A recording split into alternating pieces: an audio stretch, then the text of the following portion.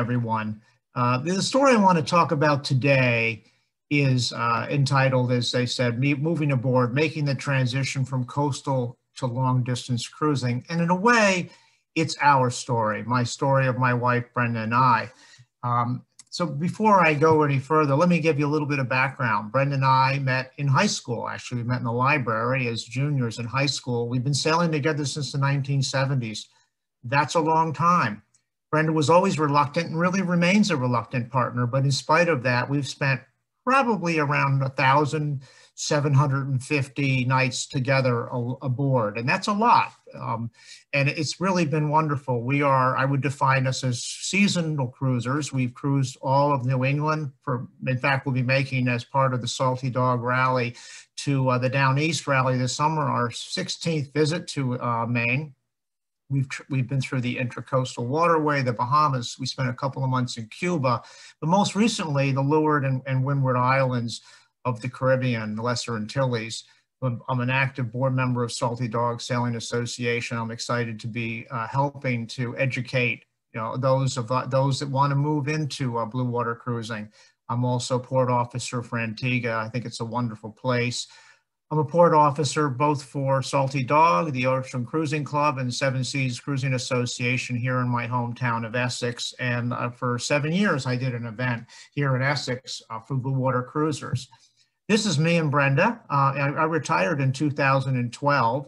And uh, that year we headed down the Intracoastal Waterway and spent eight months aboard. And that was really our first experience in living for an extended period aboard. And I want you to try to get a feel for what that's like because it's very different than, than vacation cruising, as I would call it a little bit of context. This is Pandora. This is our boat. We, uh, we've owned her for about the last six years. She's a 2000, uh, a, a, excuse me, a 47 foot composite Aerodyne 47 built in Helsinki, one of three. Uh, it's a good ocean boat, very comfortable, set up for long distance cruising. And we, I'll talk a little bit more about it, but we work hard to make the boat feel like a home. So I want to talk about what is the process kind of in your head of getting from a, being a vacation or coastal cruiser to spending really months aboard. And while it's very a personal thing, uh, what we did is, as Brenda is not as enthusiastic as I am and probably never will be, and that's really not atypical. So those of you that have partners who are as gung-ho or maybe even more gung-ho than you are, count your blessings because more often than not, there's one one person in the group that's really hot to trot and the other one that has to kind of get their arms around the idea. But there's really no better way to get your partner excited about cruising than to meet other people that did it, that, that do it. And that is really been vital to ours, exposing Brenda to people that did what I wanted to do and what she was concerned about uh, was really fundamental to getting where we got today. So we made a special point of recruiting me mentors, people who are liveaboards, people who were seasonal cruisers the way we are. And uh, we also sail regularly with buddy boats, just, just to have people along. It's a very social activity. We also attend a lot of cruising events. I put on a lot of them myself, and we participated in rallies. A couple of events to just think about this year is, and I'm doing these in order of their um, occurrence, and I'll talk a little bit more about the rallies that Salty Dawg is putting on a little bit in a moment. But SSCA, which is a terrific group also for uh, getting into the cruising lifestyle, is having their annual GAM September 24th to 26th at the Maryland Yacht Club. And we'll be having our annual event at the S at the uh, Annapolis Yacht Club. Of course, a lot of that depends upon what happens with the pandemic, but we're optimistic about that. You'll be hearing more about that. Of course, you go to the Annapolis Boat Show. Hamptons Cruisers Week is a very popular activity. And then shortly after that is the uh, rally to the Caribbean departure in Hampton. And even if you're not doing the rally, just coming down and being a part of the festivities can be really great. And then once we get to Antigua, we'll have 10 days of arrival events. If you are heading down to Florida, maybe on the ICW, if you're not quite ready for blue water yet, uh, St. Mary's, Georgia, there's a wonderful Thanksgiving event also at Vero Beach. But you really can't underestimate the importance of hanging out with people that have the same thoughts that you do and read about it too. This is three books I would strongly recommend, all written by women, interestingly enough, Changing Course, um, A Woman's Guide to, to uh, choosing the cruising lifestyle, and then it's your boat too, and then the Voyager's Handbook. You can't, uh, you just no end to the kind of information you can get about what it is that you want to do. I recommend what I would call baby steps. Living aboard is a lot different than a vacation. I think a lot of people don't really begin to appreciate this. And they'll often say, well, how can you hang out in a, in a small space with someone for months after month? But it's not that way. Um, but the only way you really know it is to, is to do it. We had a three-year plan. First, we tried a few overnight runs. We did a couple of runs to Maine and so forth. We tried then a couple of months of cruising uh, before I retired. We were able to get some flexibility, so we went to Maine for the whole summer. And it really takes a couple of weeks or even months to cruise and to, to ease into the cruising lifestyle. What we did after that, and I'll talk more about the details of that, we did the intracoastal to Florida. We took two and a half months to get there when we went to the Bahamas and then on to Caribbean. Along the way, we went to Cuba, but I don't want to torture you with that because you can't do it nowadays, at least not as an American. But boy, when you get the chance, I strongly recommend it. Traveling company. The, the uh, one of the great things about Salty Dawg is the rallies that we do. And these are designed with the idea of helping people get comfortable with being on their boat for more extended distances. The Delmarva Rally, Down East Rally, and Maritime Rally to Canada, which we hope we can run this year, but it's a little unclear as to whether Canada will be open, and then the Caribbean Rally. And they're really something set up in a logical way to help you gain confidence. Now, one thing is that Brenda is just not a blue water kind of girl, and maybe your partner isn't as well, or either. And uh, so one of the great things about doing a rally or even just moving a boat is to use crew. And I've been doing that for over 30 years. And uh, Salty Dawg is oriented to helping you. This was actually a departure for one of the rallies to the Caribbean. And there's no reason, there's nothing that says that someone can't fly down to join you. As you say, nothing goes to weather like a 737. So as you head out onto the ocean, it can be very different. Some days it looks like this. Some days it looks like this, but always it's interesting. Amazingly, we saw this humpback whale that breached right in front of our boat this summer in Long Island Sound, at the eastern end of Long Island Sound. Uh, never in 40 years of cruising have I ever seen that. But for sure, going to Maine, you will see whales. Um, and this year, the plan is to leave the canal first thing in the morning, which means we'd be by Provincetown in the afternoon, and almost for sure you'll see whales. It's just an amazing experience.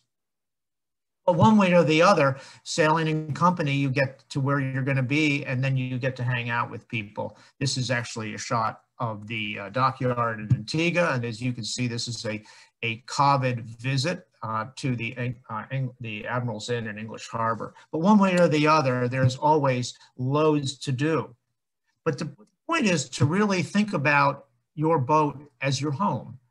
And you have to make room for what you enjoy you like reading? Do you have arts? I mean, one of the things we see a lot of people do is they paint on their boat. They have, because it doesn't take up a lot of space. One of my friends is a professional artist. He makes his living on marine art. And he spent a season in the Bahamas and came back with 60 plein air pieces. The point is that you can bring much of what you want to do with you on the boat and make you feel like it's an extension of your home. We make a special effort also to have nice things on board our china and crystal may be melamine and lexan, but we try to make it look nice. We personalize the boat with decorations, family photos, and so forth, and we and we both enjoy cooking and want to make sure we can. We also are very conscious of keeping the boat as comfortable as possible and, and taking a lot of the excitement out of things. We have a good, solid, hard bottom inflatable and a 15 horse two cycle motor we can count on. It's this family car. We want to make sure that we don't have to worry about it. We have a good solid autopilot. It's important to have one that can hold the course when things get rough because when you get tired and you, and especially if you're sailing uh, short, short-handed, you want to make it as fun as you possibly can. You want to stay warm. This heater buddy, this little heater here is a very nice piece of equipment. It's the only heater you can get that's actually um, uh, approved for use down below because it has a, an automatic CO2 cutoff. But there are times when it's really cold in the cockpit and it's, it's important to have some way of staying warm. And I'll talk more about that in a minute with enclosures and so forth. And also it's, it, it, it just, again, it takes the anxiety out to know what the water depth is around you. If you need to get out of a harbor, you're concerned about a change in direction, it's nice to have a handheld depth finder. And I'm not going to cover all of the equipment needed on this, but just some highlights of things that we find makes our life on board easier. This is our dinghy. It's a Carib, and it's got a nice big tubes and a high rise in the bow, and that's important because when you when the going gets really crummy, you just don't want to be coming back from cocktails with friends and having a wave come over your bow just because it's choppy in the harbor. So we try to think about all that because to us, comfort is a priority. You'll notice most people that live on their boat for extended periods have really good covers on their cockpit. They have full enclosures or they have a hard dodger, something to make themselves as comfortable as possible.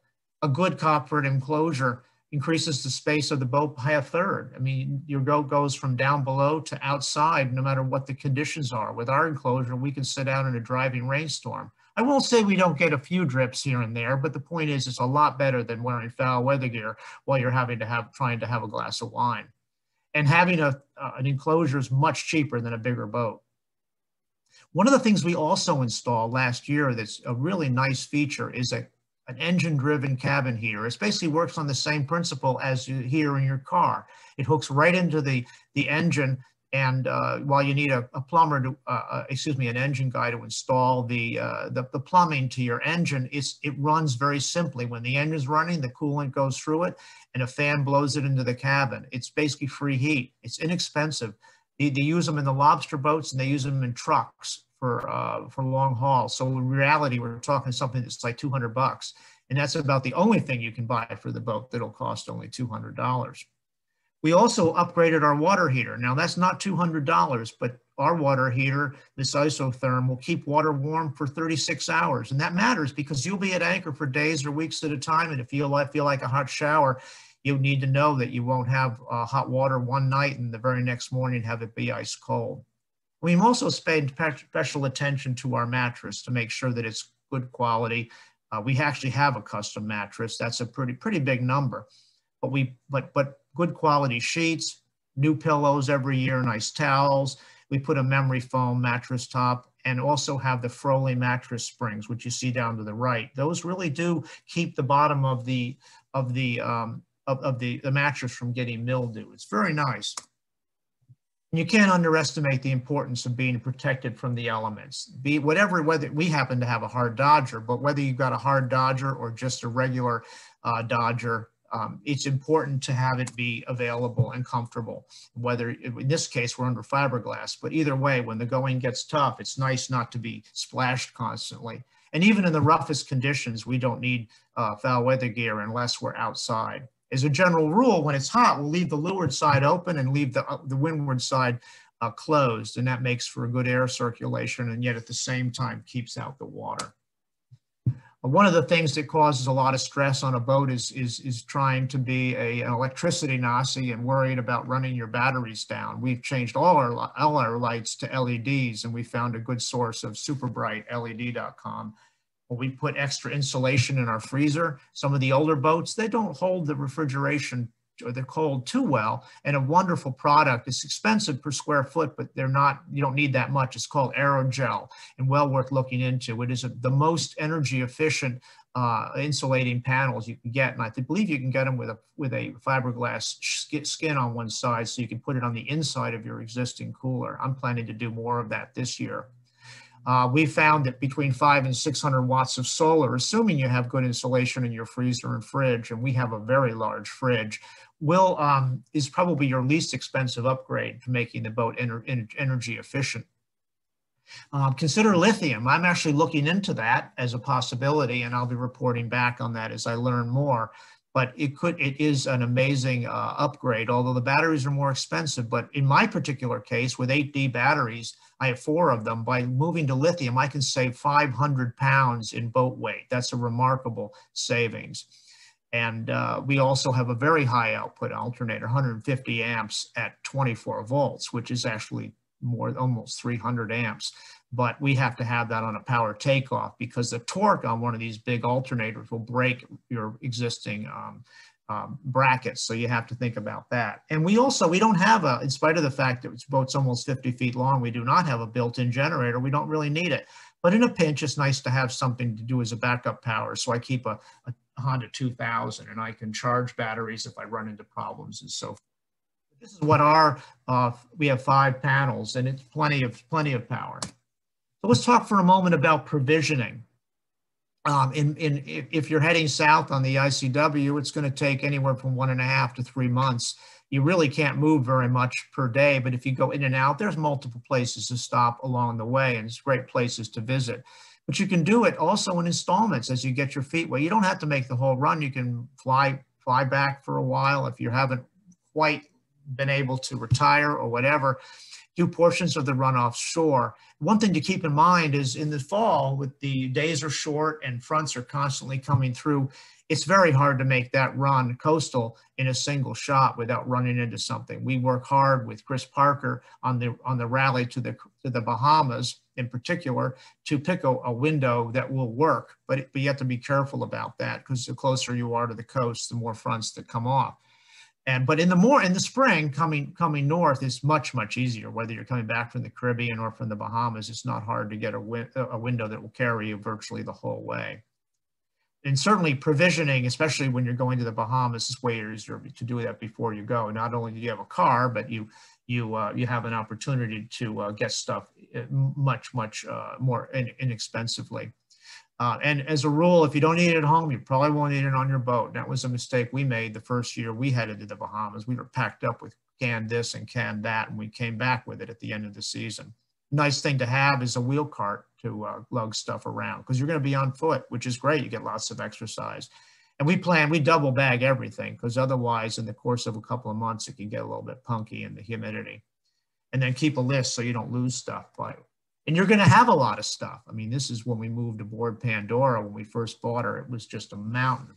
So you might want to think about converting. I took a, a, hanging locker. I've done this on the last two boats and converted it to a to a, a place to, to put regular provisions. And I found that we just didn't use all the hanging lockers.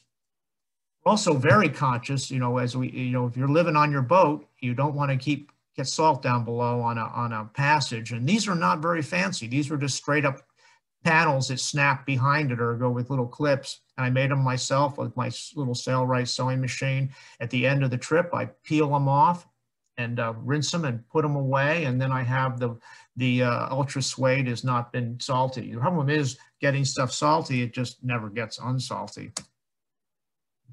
So let's talk about just safety. And I'll talk about safety not from the context of some of the other talks you might have seen, but really just the calming influence of just making someone feel comfortable being on the boat when they're not used to it and the, doing these long runs. Uh, we, we, we grew up in a time way before AIS, and it was at night, especially in coastal cruising, trying to read the lights and figure out what they meant. While it's important to understand them, sometimes it's just really tough and it's so much better to know who's who's coming your way when they're going to be there and how close they're going to be and the name of the boat so you can talk to them. It just makes it more much more relaxing. And and speaking of relaxing nothing is more as relaxing than actually staying on the boat. And so we are very assiduous about our use of jack lines both in the deck and on the cockpit. You just don't want to end up in the water. And we've talked plenty about that in other programs. And the best thing you, your best safety feature is staying aboard keeping your lanyards, being very tough about it, never leave. We don't even, on board Pandora, you don't go into the cockpit when you're offshore without having a, without clipping on, even with the, with enclosure, because you just never know if you're going to hit by a blast and end up on your ear and, and suddenly have to do something and not have, and forget to clip on and fall out of the boat. Um, we have a life raft, of course, that's really important. And, but more than anything, it's just it's nice to know it's there. I still remember the first time we left the Cape Cod Canal to go to Maine. It was my very first overnight. There were two other boats with me. And as we pulled out, this is at a time we didn't have AIS, we didn't have a life raft, we didn't have an EPIRB. It was all very exotic at the time. And uh, I thought, holy cow, I have no right being out here. But we made it. And after countless uh, trips and nights offshore, just having the right equipment makes all the difference in the world. And of course, an EPIRB is, is really vital for, I don't think you should be outside a cell range without an EPIRB, frankly, excuse me, a, a, VHF range. And stuff breaks, but no problem because you'll have spares. At least we have spares. We keep, I'm not going to read through this whole list, but if, if it's vital, especially for a boat like mine, it's 24 volts. You can't just go into a chandlery and buy a new water pump for, for the uh, domestic pump. So I keep copies or uh, uh, over, I keep extras of every pump. And when they start to go bad, I rebuild them and put them into uh, inventory for the next time. I think one of the biggest safety things I worry about is an uncontrolled jibe. And uh, the, the uh, easy, the jibe easy by Wichard on the upper left is one of two ideas that are there to control the jibe of a boom. Nothing is quite as, as unsettling as an uncontrolled and potentially devastating if you get hit by the boom or it breaks is an uncontrolled jibe. And that becomes a particular acute issue when you have a crew that aren't that familiar with the boat. You just never know what might happen. But a jibe easy is a really great uh, way to control things and keep, keep it from getting out of hand. Uh, I'm not going to go into a lot of details about communication and navigation, except to say that there's a lot of options. And staying in touch, whether you're in the US or the Bahamas, or in, in the Caribbean is getting easier and easier. We are big fans of the Google Fi phone, which works wonderfully in the Caribbean and the Bahamas. You could use it as a hotspot. We have friends that we talk to regularly on WhatsApp and, uh, and FaceTime and so forth. And, and if you're really a data hog, get a local SIM card. And, and for less than $100 a month, you can watch movies in many of these harbors. The point is that the every year it gets easier and easier. Whether you're using a sat phone or a sideband radio, it's nice to be able to stay in touch with people. One thing we're very conscious of is backup. And uh, when we have our primary plotters, both under the Dodger and in the in the in the cockpit uh, at the at the nav station, uh, we have the primary plotter as well as paper charts, and we use an iPad as backup and uh, of course PC and with with a, a, a, GPS connection in the case of failure of pretty much everything else. Uh, I've used I've been using Crew as I mentioned for 40 years, and in picking Crew, just a few thoughts on that. People often will say, so how big is your boat? And I said, well, it depends upon how far it is from the dock. And the farther you out into the ocean, it can really, really seem small. And if you have bad crew on board, then it's really, really small. So my recommendation is um, pick people that if you if you can, you get to know them. One of the nice things about FaceTime or uh, or uh, Zoom for that matter is you can really meet people and get to know them a little bit. Um, check references, uh, think about their experience and, and how they react under pressure. Are, are they a know-it-all? Those sorts of things we on Pandora, I like three crew, me plus two others. A lot of people use four. I find it gets a little crowded, but the four is probably ideal because if someone gets sick and, and pretty much always people will end up seasick in spite of their best effect if they're not used to it. Uh, but it's really tough to run a boat with just two, as we found during our uh, flotilla coming home from the Caribbean last year with all the boats that came along with Salty Dawg. Is it was it was tough with with inexperienced or uh, shorthanded.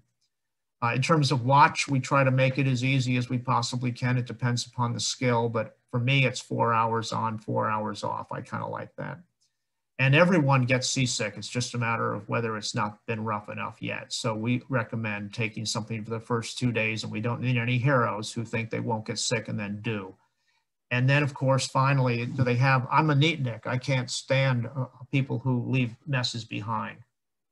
So it's important to pick people that are kind of like you. And most of the time it works out well if you think, think it through and pick the right people. But more often than not, I mean, really what comes down to is cruising is like a movable neighborhood. You see people in one place, you, a year later, a month later, a week later, you see them again. So to me, moving uh, in through the cruising lifestyle is really a matter of taking baby steps. And, and, our baby steps have been included trips to Maine. And this summer I'll be doing that and leading a group from Newport up to Maine um, with the Salty Dawgs. And hopefully I'll see some of you there but it's an opportunity to try it overnight, just a single overnight from the Cape Cod Canal up to Maine. It's a really wonderful opportunity to spend time with people that uh, share your dream and the spectacular scenery. This harbor here, this is actually a boat we owned many years ago at Tartan 37. And this that harbor is as tiny as it looks. We had to take a mooring fore and aft and, and, and even then it was tight. But it is just there's no place I if, if I'll tell you honestly if if uh, if if the if the uh, water was warm in Maine and the seasons were as nice as they are in the Caribbean, I'd like Maine more. And it's a nice place to come and leave a boat. Well, I'll be leaving the boat up there for a couple of months and coming and going a few different times. It's a great place to kind of get into things. And you just can't beat how beautiful it is and the ability to see these spectacular uh, dude schooners and look at waking up in the morning with a, a, a thing of wildflowers into an absolutely placid spot. In fact, uh, this is this is a, a little harbor that we're likely to be in this this year. A next stop is maybe taking the uh, ICW to Florida or going offshore if you're a little more adventurous. But just a couple of highlights of the ICW. Uh, don't try to do the ICW if you have a seven or eight foot draft boat. It, it can be very, very tough. You have to have a mast that's under 65 feet, and I mean under 65 feet there's a lot of places to anchor. And one of the basic truths of cruising is the farther south you get, setting aside, of course, Miami and Fort Lauderdale, it gets to be pretty inexpensive if you wanted to uh, tie up in a marina. Some of them are even free in some of the towns and so forth. But Georgia and the Carolinas is really challenging. And but if you play the tides through Georgia, it's nine foot, so you can get through pretty much anything. But the tides and, and currents can be pretty tremendous. Basically, the uh, that the ICW begins in uh, just near Hampton, in fact, mile marker number one. But by the time you get to Miami, that's 1,089. If you wanted to do every day and never just push, push, push, that's 55 miles is about the best you're going to do every day because of the short days and so forth. And that's 20 days. So maybe the best thing is to do an offshore run. But if you want to, it is a wonderful experience, whether you're going through the Dismal Swamp Canal, or down in Beaufort seeing the wild horses out on the banks. It is, it is just the greatest place and to really reconnect and, sp and spend time. Once you get down into the, um, into the low country and in, in Charleston, just an amazing number of places to, to, to go. After that, maybe you want to think about taking a bigger jump and going to the Bahamas. You, you can do it from Florida. A couple of the ICW, a couple of the salty dawgs last year, the weather was pretty challenging. So they went inshore and then sailed over from Florida. It's only 50 miles across the Gulf Stream. And uh, four to five days at sea with a salty dawg rally will get you there with lots of support. And having sailed all the areas we have, basically the whole East Coast and, and throughout the Caribbean and Bahamas, um, you will never find more beautiful beaches than you'll find in the Bahamas, and the water is probably the clearest you'll ever see anywhere. Um, fabulous diving and snorkeling, but you've really got to have depth of probably six feet or less, or you're going to feel constrained. Uh, our last boat had had six five ten, and it was really pretty easy. And Pandora was six and a half foot. That six inches makes a pretty big difference. Celebrate. You celebrate your milestones. You did it. You you made it to the bahamas. You made it down the intracoastal. You spent three months on the boat. You've got a lot to a lot to celebrate. And in fact the people in this picture this was on our first this is celebrating ben's birthday our very first trip to the bahamas. And bill back there in the corner bill woodruff on Kaluna Mu um, he's a member of salty dawg and is celebrating his 10th year living aboard this may Bahamas is a really cool place. It's got a tremendously strong English influence. And as I mentioned, the scenery is pretty spectacular. Uh, the, the, the, you can tell the water depth by the color. And, and if you like shelling, um, what, what, a, what a wonderful place. And if you feel like swimming with sharks, or feel like feeding the pigs at, at, um, at, at, at a big major spot, you can do that. But everywhere you go, there are other cruisers, people again like you that want that want to share this lifestyle, and that's part of what I think really what makes cruising such a wonderful thing to do, and to how do you kind of get your head around it, especially for someone that might be resistant. And with the prevailing winds in the Bahamas and the Caribbean always out of the east, this means this is your view out of the back of your boat every evening as the sun sets over over the horizon. So let's just talk as we get to wrap up here a little bit about the, uh, the Caribbean and the Salty Dawg Rally to Same. And this is just as a list a few, a few years ago of, of just showing what the track was for the fleet. A lot of boats. Amazingly, in spite of the fact that we had 80 boats heading south, um, after a day, you generally don't see anybody. I mean, I could go sometimes four or five days without seeing another boat. And that really gets also to a point about sailing at night. And that's a really big hurdle for a lot of people. And if you've grown up like we have sailing Long Island Sound, sailing at night can be really daunting because you've got lights on shore. It's, you know, is that a flashing light from a, a tail light on a car? Is that a red, a, a red mark? You know, what is it? But once you're offshore, with AIS going, if you if you see something, it's probably a single boat on the horizon as opposed to this cacophony of lights everywhere. It's much much easier, much more relaxing to be offshore than it is to be inshore at night.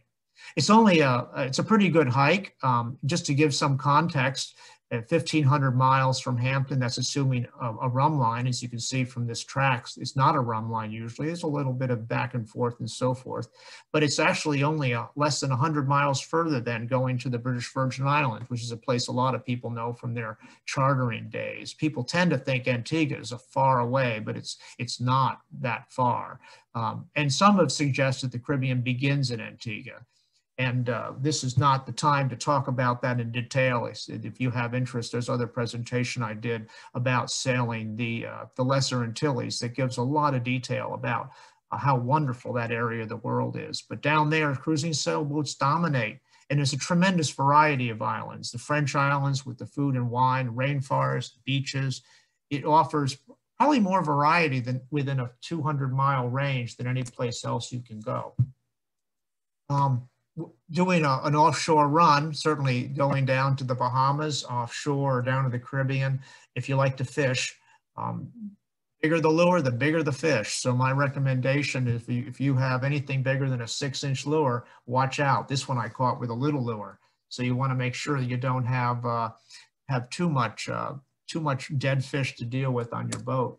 But once you get down to the Bahamas, to the Caribbean, excuse me, this is Nelson's Dockyard, you're entering some of the most spectacular scenery you'll see anywhere. This the Nelson's Dockyard is a, is, is the only working Georgian dockyard in the world, and it's still true to its history as the as the uh, the center of the British Empire in the Caribbean. It's a beautiful spot, and that one of our one of our members uh, took this wonderful picture uh, with his drone. Um, this year of the arrival. All those boats, with the exception of that big schooner off to the off to the right, are salty dawg boats.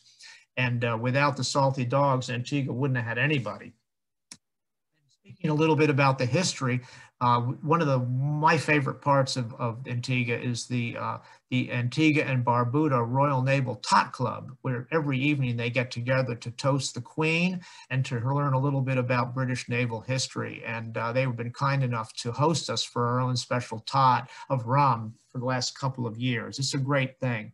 And we do a lot of events down in Antigua to uh, make people feel like the trip was worth it and uh, all this winter, most people stuck there for the entire season because moving from country to country was just too challenging um, with all the restrictions. So there was well over 100 uh, dogs that hung out for a couple of months and life was pretty normal.